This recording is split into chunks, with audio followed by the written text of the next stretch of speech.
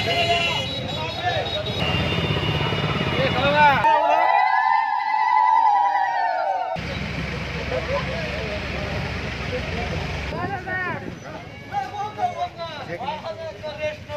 যে আপনি যে ভোটের ময়দানে লড়াই করছেন, কি কি ইস্যুর ভিত্তিতে লড়াই করছেন?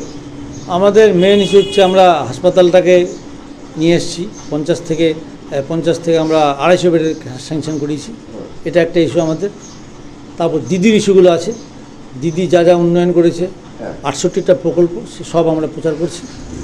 আগামীতে আমাদের যেটা আমরা প্রতিশ্রুতি দিচ্ছি মহিলা কলেজ চান্দোল মার্কেটিংয়ের মাঠে একটা ভালো রকম বড় ইন্ডাস্ট্রি করা যাতে কিছু লোক ওখানে কাজ করতে পারে। আচ্ছা। এইসবই আমাদের মেন ইস্যু